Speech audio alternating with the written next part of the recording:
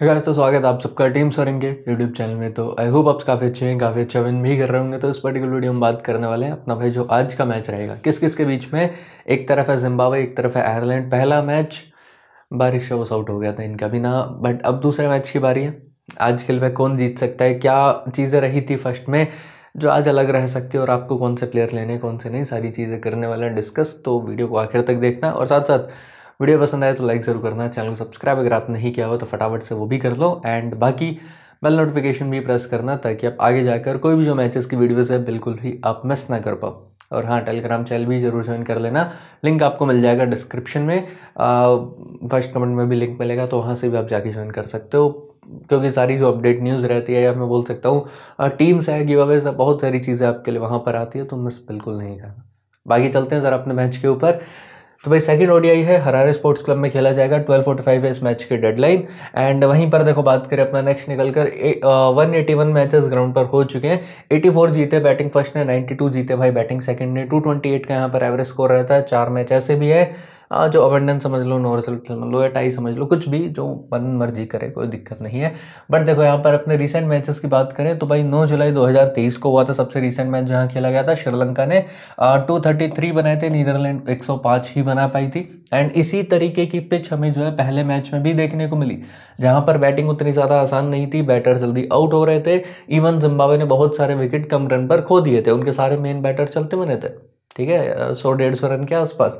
तो पिच कहीं ना कहीं पे बैटिंग के लिए उतनी ज़्यादा अच्छी नहीं है, जहाँ पर आपको तीन सौ का स्कोर देखने को मिल जाए, जहाँ पर आपको दो सौ अस्सी, दो सौ सत्तर बहुत आसानी से बनता हुआ दिखे, ये उस तरीके की पिच नहीं है। इवन यहाँ पर आपने देखा एवरेज स्कोर भी कमी है कभी कभार होता है जब ऐसा स्कोर बन जाता है, वरना तो टू फोर्टी थ्री देखो, ऑल आउट हो गए थे, श्रीलंका ने चेज कर दिया।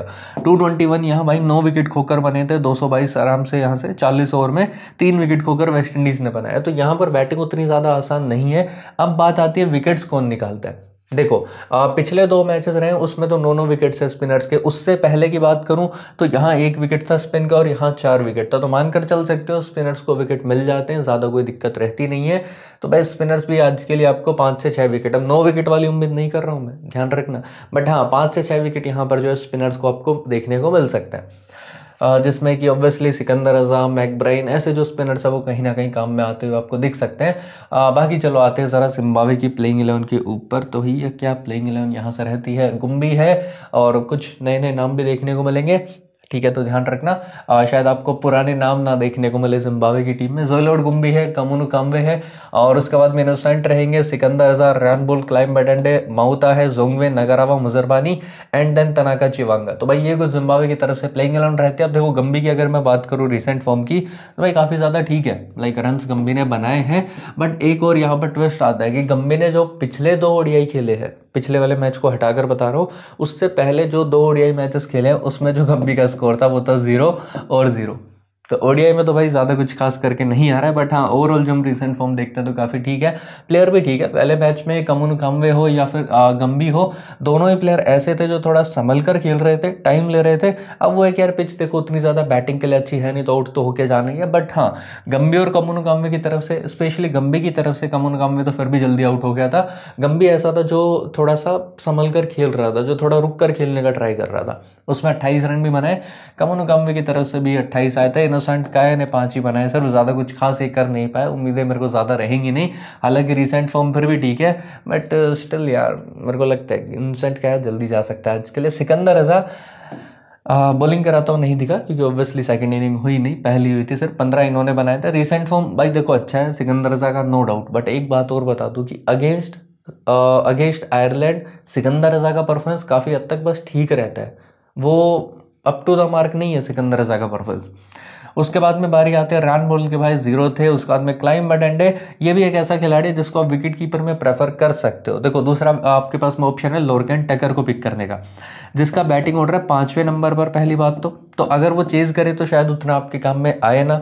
ठीक है तो यहाँ से क्लाइम बटेंडे जहाँ तक मेरे को लगता है डिफरेंशियल पिक आपके लिए बनेगा। टक्कर है भाई, बिल्कुल हंड्रेड परसेंट सेफ़ कोई दिक्कत नहीं हंड्रेड परसेंट कॉमन रखना हो तो रखो बट क्लाइम बटेंडे वो है जो थोड़ा सा हटके बनेगा, जो तो आपके लिए थोड़ा सा अलग पिक रहेगा। क्लाइम बटेंडे रिसेंट फॉर्म उतना कुछ खास नहीं है बट जो मैंने देखा पिछले तीन चार मैच में बटेंडे को अब प्लेयर ठीक है यार वैसे तो मैं बुरा ही करता था बैटेंडी के हमेशा। आ, उसके बाद में ब्रेंडन माउथ आए इनकी तरफ़ से 28 रन आए थे। बाकी एक प्रॉपर बॉलर है वैसे तो रिसेंट फॉर्म देखे तो भाई एक एक दो दो विकेट्स इन्होंने निकाल रखे हैं। लेग ब्रेक बॉलिंग करता है बाकी उसके बाद में ल्यूक जोंगवे है right hand bat right arm pace है। और जोंगवे का तो कुछ ऐसा है कि कभी बॉलिंग कराए और कभी ना कराए वो वाला काम रहता है जोंगवे का। पता नहीं इसको टीम बैटर समझती है कि बॉलर समझती है ऑलराउंडर समझती है? काम तो ये तीनों ही अच्छे नहीं करते। उसके बाद में नगारावा जो मस्ट पिक बनता है, एक तरीके से रिसेंट फॉर्म बहुत ही ज़्यादा बढ़िया देखने को मिलता है नगरावा की तरफ़ से। ब्लैसिंग मुजरबानी है भाई एक एक विकेट यहाँ से निकाल रखा है। और तनाका चिवांगा की बात करूँ राइट एम पेस है और रिसेंट फॉर्म ठीक आपको देखने को मिल जाता है। एक एक दो दो विकेट्स है चिवांगा के नाम भी। तो ये रहते हैं जिम्बावे की तरफ़ से जो प्लेइंग इलेवन है उसमें बॉलिंग कौन कौन कराएगा? चिवांगा मुजरबानी नगरावा जोंगवे मऊता और उसके बाद में सिकंदर रजा और उसके बाद में यहाँ से आपको रेहान बोल तो भाई बॉलिंग के कुल मिलाकर सात ऑप्शन है और जिम्बावे से शौक मत होना, ये सात ऑप्शन से बॉलिंग करा देते हैं। ठीक है? यहाँ से आपको सबसे जो है बॉलिंग होती हुई दिख सकती है। बस ज़्यादा ओवर्स की अगर मैं बात करूँ तो नगारावा, मुजरबानी, सिकंदर रजा, रैनबुल। रैनबुल भी थोड़ा सा हटा ही दो। बट रजा, नगारावा, मुजरबानी, ये तीन बॉलर्स हैं जिनसे आपको शायद ज़्यादा ओवर्स बॉलिंग करते हुए दिख सकते हैं। ठीक है? उसके बाद में अगर हम बात करें नेक्स्ट निकल कर भाई, और नई बॉल के साथ में आपको यहाँ से एक तरफ़ से तो नगारावा आता वो दिखेगा, दूसरी तरफ़ से मुजरबानी या चिवंगा में से टीम किसी एक से डलवा सकती है। बात करें जिम्बाब्वे के बेंच प्लेयर्स की तो यहाँ से अक्रम है ठीक है, जो कि लेफ़्ट एंड बैट राइट एंड मीडियम है रिसेंट फॉर्म तो अच्छा है बट शायद मौका ना मिले आज के मैच में। उसके बाद में कई तानो है, कुछ मैचेस ऐसे हैं कई तानों के जिसमें भाई रन्स है और कुछ ऐसे हैं जिसमें कि वो पंद्रह बीस रन वाली पारी है, जो शायद ओडीआई में उतनी काम नहीं आती है। उसके बाद में वेलिंगटन मसागत जाए स्लो लेफ़्ट आर्म ऑर्थोडॉक्स है आजकल ना उतना ज़्यादा काम आ नहीं रहा वेलिंगटन मसाकत जब जब खिला रहे थे तो कुछ ज़्यादा खास किया नहीं। उसके बाद में मुनतोंगा है right hand bat right arm off break भाई अभी रिसेंट में 153 बने बाकी उस लेवल फिफ्टी नाइन रन तीन विकेट 32 एक विकेट 38 है।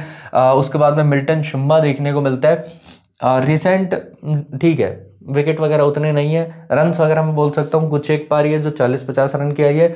बाकी दो तीन पारियाँ ऐसी भी है जिसमें फ्लॉप भी होता हुआ दिखा है।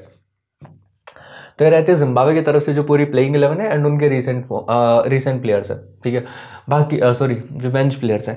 वहीं पर अगर हम नेक्स्ट बात करें आयरलैंड की तरफ़ से प्लेइंग इलेवन की तो आपको यहाँ से देखने को मिलता है Paul Stirling Andrew Balbirnie recent form obviously अच्छा नहीं है दोनों ही खिलाड़ियों का।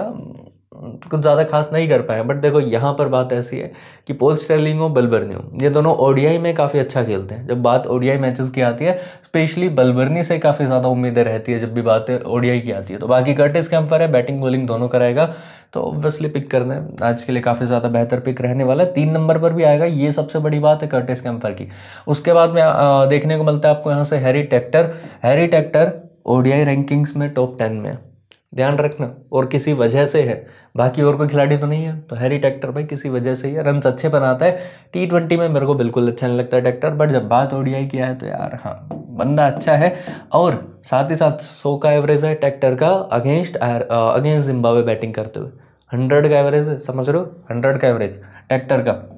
और बाकी काफ़ी इंपॉर्टेंट बनता है सीवीसी ऑप्शन है। इनकेस अगर बैटिंग फ़र्स्ट करे, अब बैटिंग सेकंड में मैं बोलूँगा कि ठीक है, ले सकते हो उस केस में। तो लोरकन टकर बताई ही दिया आपको, सबसे जो सेफ़ पिक रहेगा वो टकर है, थोड़ा रिस्क लेना है तो मेडेंडे बाकी तो तीसरा कोई ऑप्शन बनता नहीं है। उसके बाद में जॉर्ज डोकरल है, आजकल बॉलिंग भी करा रहा है डोकरल तो हाँ ऑप्शन है आपके पास में पिक करने का। बाकी right hand bat slow left arm orthodox है।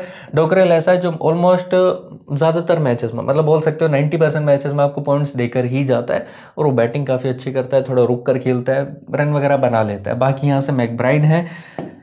ये ये जिम्बावे के अगेंस्ट में अच्छी बॉलिंग करता है। रिसेंट फॉर्म आपको उतना ज़्यादा बेहतर यहाँ से मैकब्राइन का दिखेगा नहीं। थोड़ी टी, बाद टीम में वापसी हो रही है उसके बाद में मार्क डायर है। मार्क डायर आपको पता बैटिंग बॉलिंग यार दोनों बढ़िया करता है तो मिस करने लायक खिलाड़ी बिल्कुल नहीं है। ग्राम ह्यूम एक रिस्की बनेगा बट हाँ पिक कर सकते हो। अगर जीएल में जा रहे हो तो मैं बोलूँगा चारों बॉलर्स के साथ में आप टीम बना सकते हो। चारों बॉलर्स को लेके इवन पाँचों को लेके मैकब्राइन को भी ले लेना। ग्रैंड लीग की टीम जो बना रहे हो, उसमें पाँचों को ले लेना। सी आप यहाँ से ग्राम ह्यूम यंग लिटिल में से किसी तीन में से दो को कर सकते हो। बाकी उसके बाद में क्रैग यंग है जो मस्ट पिक है। रिसेंट में बहुत अच्छा रहा है क्रैग यंग का। अभी जो पिछले इसने कुछ मैचेस खेले चाहे किसी भी फॉर्मेट के हो विकेट्स यंग के हाथों में जाते ही जाते हैं। और इवन जो पहला मैच वॉश आउट हुआ ना उसमें भी यंग के नाम दो विकेट्स थे। उसके बाद में जोशुआ लिटिल है। आ, उतना ज़्यादा इम्पैक्ट अभी जोशुआ लिटिल को देखने को मिल नहीं रहा है बट हाँ भाई मेन बॉलर है टीम का एक तरीके से अडायर के बाद में। तो लेना तो बिल्कुल यहाँ से इंपॉर्टेंट बनता है। तो ये है आयरलैंड की तरफ़ से जो पूरी प्लेइंग इलेवन रहती है जिसमें अगर मैं बॉलर्स की बात करूँ तो बॉलिंग ऑप्शन इनके पास में भी काफ़ी ज़्यादा है। जैसे पाँच तो भाई यही हो गए छठा बॉलर अगर मैं बात करूँ कर्टिस कैम्फर है, सातवां यहाँ से डोकरेल है। और फिर भी अगर ज़रूरत पड़ी तो ट्रैक्टर से बॉलिंग करा देते बट अभी उसके चांस कमी रहने वाले तो डोकरल कैम्फर और ये पाँच तो कुल मिलाकर सात बॉलिंग ऑप्शंस यहाँ से टीम के पास में रहेंगे। उसके बाद में अगर हम बेंच की बात करें तो इनके पास में बैरी मैकार्थी है। ह्यूम की जगह पर मैकार्थी को खिला सकते हैं। बट पहला मैच देखो वॉश आउट हुआ और आयरलैंड की जो बॉलिंग रही थी, वो काफ़ी ज़्यादा ठीक रही थी। ऐसा कुछ नहीं कि भाई एक ओवर में किसी को बीस पच्चीस रन पड़ गए तो चेंज करने की उम्मीद कमी है शायद अगले मैच में कर दे। उसके बाद में नील रोक है एंड यहाँ से वेलकम आपको देखने को मिल जाता है। बाकी बात करते हैं भाई हेड टू हेड मैचेस की। पंद्रह मैचेस यहाँ से जो खेले हैं आयरलैंड की टीम ने इस ग्राउंड पर।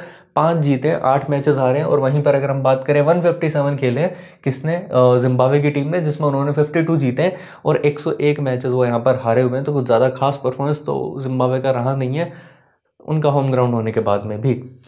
बाकी अगर बात करें वेन्यू लीडर्स की बैटिंग सेक्शन से सिकंदर रजा है जिन्होंने 49 मैचेस में भाई 1780 रन बनाए हुए 43 के एवरेज के साथ में इस ग्राउंड की मैं बात कर रहा हूँ ध्यान रखना। उसके बाद में रैन बुरल है 21 मैच में 509 रन 28 के एवरेज के साथ में पोल स्टर्लिंग 13 मैच में 427 रन है और उसके बाद में आते हैं इनोसेंट काया 15 मैच में 414 रन के साथ में 29 का एवरेज है इनका।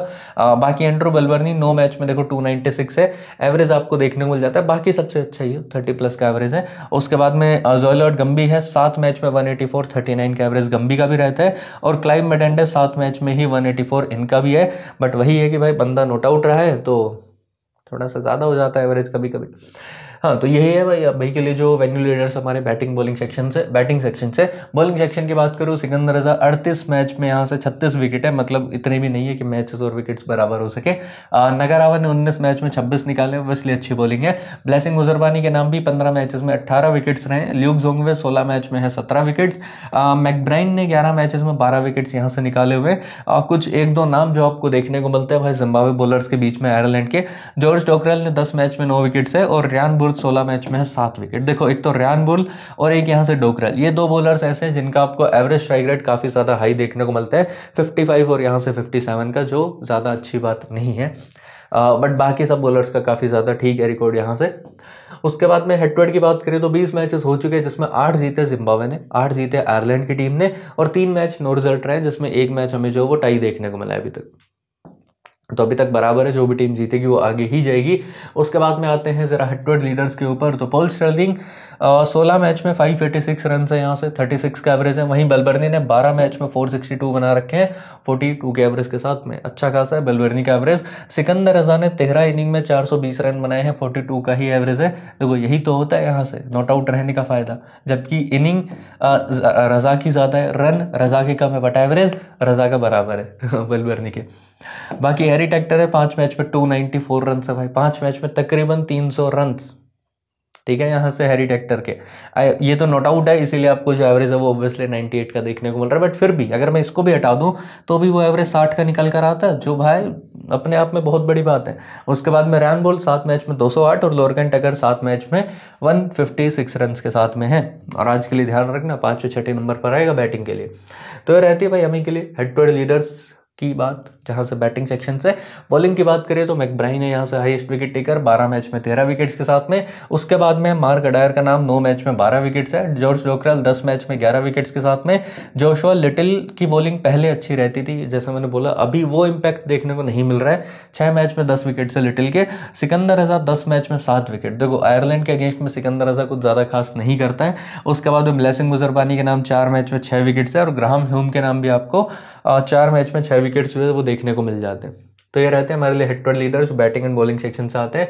वहीं पर अगर हम बात करें प्लेयर बैटल की पोल स्टर्लिंग जो है वो अगेंस्ट नगरावा दो बार आउट हो चुके हैं 61 बॉल में, वापस से वैसे चुनौती रहेगी नगरावा के पास में। शुरुआती ओवर्स में स्टर्लिंग या बलवर्नी को आउट करने की, जिसमें आई थिंक वो कामयाब हो सकते हैं स्टर्लिंग को आउट करने में। उसके बाद में सिकंदर अजय जो कि मार्क अडायर के अगेंस्ट में दो बार यहाँ से जो है वो आउट हो चुके हैं। तो ये रहते भाई हमारे आज के लिए जो प्लेयर बैटल है, अब आ जाते हैं सीधा अपनी टीम के ऊपर। कि जो आज के लिए हमारी टीम है, वो क्या बन के आ सकती है। तो टीम की अगर मैं बात करूँ तो भाई टकर को मैंने यहाँ से पिक किया हुआ है। उसके बाद में कमुनु कमवे है, उसके बाद में हैरी टेक्टर है मेरे पास में। जॉर्ज डोकरल, सिकंदर हज़ार, रियान बोल, कर्टिस कैम्फर और यहाँ से ब्रेंडन माबूता हो गए बाकी यंग, अडायर और ग्राहम ह्यूम। तो मैंने जो टीम है, वो बनाई है पूरा का पूरा आयरलैंड के फेवर में। अभी आई थिंक आयरलैंड जीत सकती है पहले मैच को देखकर भाई यही था। आ, सिकंदर रजा क्योंकि सबसे सेफ़ कैप्टन वाइस कैप्टन यही है। देखो अभी के लिए चाहे खराब है परफॉर्मेंस या उतना ज़्यादा बेहतर नहीं है बट स्टिल डिसेंट तो था। उतना भी कुछ ऐसा नहीं है भाई रखना ही नहीं चाहिए सिकंदर रजा को। सबसे सेफ़ कैप्टन वाइस कैप्टन यही बनता रन और विकेट लेने के मामले में। वाइस कैप्टन के लिए ट्रैक्टर है आपके पास में एक ऑप्शन एंड इन केस अगर आयरलैंड यहाँ से पहले बॉलिंग करती है तो उस केस में आप थोड़ा सा अगर रिस्क लेना चाहो, थोड़ा अलग जाना चाहो तो वाइस कैप्टन के लिए यंग को या फिर अडायर को भी यहाँ से जो है ट्राई कर सकते हो। तो हो जाती है अभी के लिए टीम एंड सब चीज़ें। बाकी अगर आपको वीडियो पसंद आया हो तो लाइक ज़रूर करना। और देखो, मेरे से तो तुम मानते नहीं हो चैनल सब्सक्राइब की बात, है ना? तो आज मैं एक ज़बरदस्त शख्स को लाया हूँ, जो आपको बोलेगा चैनल सब्सक्राइब करने के लिए। तो मोदी जी मैं जाता हूँ। मोदी जी अब तुम्हें बताएँगे कि भाई चैनल सब्सक्राइब कर लो फटाफट से, ठीक है? मेरा ये चैनल सब्सक्राइब करें और मेरे हर अपडेट आपको मिले, इसके लिए बेल आइकन ज़रूर दबाइएगा।